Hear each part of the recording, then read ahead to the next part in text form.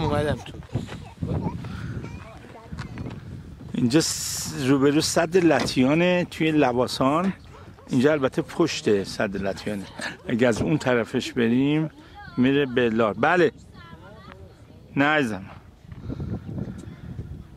اینجا دیگه الان مردم به خاطر که لباسون گرون شده اینجا اومدن ویلا زدن. و هوای بسیار دلچسب و داره. نبود رفتیم پایین. همونطور که می‌بینی هنوز برف هنوز تو کوه هست. البته چند وقت دیگه این برف بیشتر خواهد شد این ویلاهایی که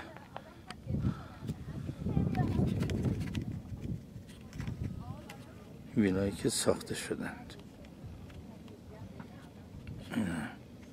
بیایم که آقای وحید دهقان نشه بیایی که بهبود امیدوارم پیدا کرده باشه.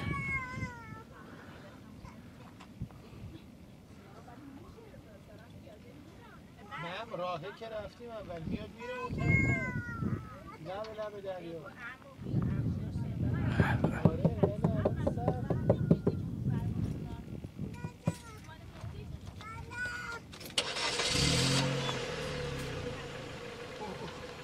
آره، آره، رو برای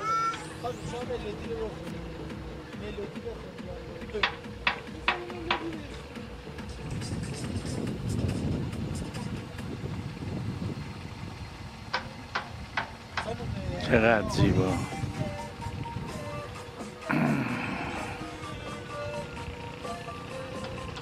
جاده پایین میرن درست کنار دریاچه. کنار سد لطیان برویم ملت.